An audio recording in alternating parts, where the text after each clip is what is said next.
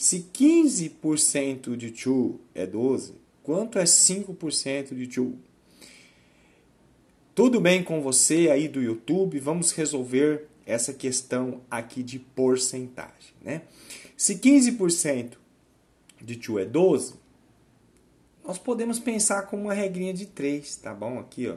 Se, se 15% de 2 é 12, se nós dividirmos por 3 essa parte de cima, nós vamos obter os 5%, né?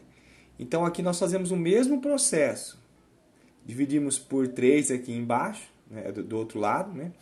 Então, é, a terça parte de 15 é 5, a terça parte de 12 é 4, né? Então basta nós dividirmos por 3, nós vamos obter aqui como resposta a letra B, tá bom? É como se fosse uma regra de 3, né? Se 15% de algo é 12, quer dizer que 5% é a terça parte, é 3 vezes menos. Quanto que é 3 vezes menos que 12?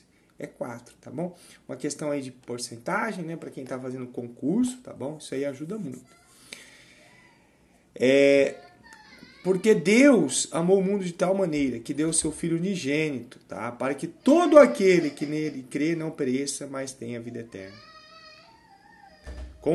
Confia aí no Senhor Jesus, tá bom? Entrega sua vida a Ele.